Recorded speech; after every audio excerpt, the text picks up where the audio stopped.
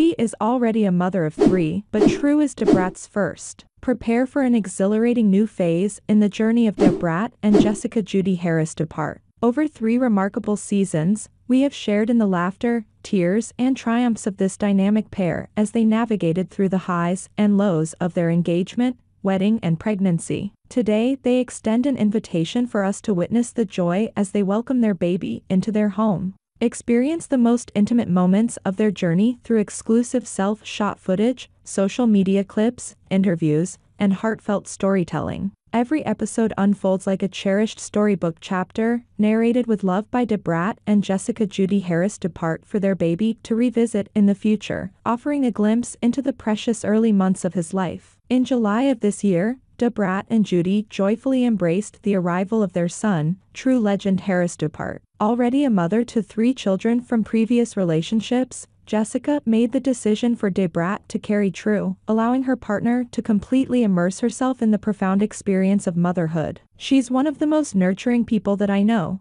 Judy told Kevin Frazier while the host visited the couple's home recently. So I felt like she deserved the full experience I knew she would love and appreciate all the parts of it. You know like finally seeing the baby and ultrasound and finally feeling the baby kick and the relationship that you have developed while growing a baby inside of you. Brat expressed her absolute joy and contentment with the choice. I love it I love being a mom, she gushed. It is a job though, you know, but I love being a mom. I feel super blessed that God chose me to be somebody's parent. After all these years, I didn't think it was in the cards for me, so I am ecstatic about it. Da Brat is still utterly in awe of what her body just did. The family of three are bonding at home. So what are your thoughts? Like share and subscribe and thanks for watching.